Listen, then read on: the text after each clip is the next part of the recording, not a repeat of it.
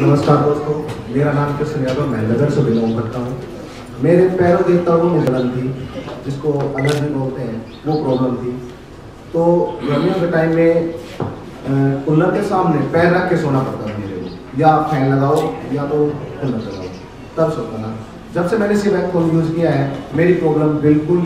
खत्म हो गई है जय श्री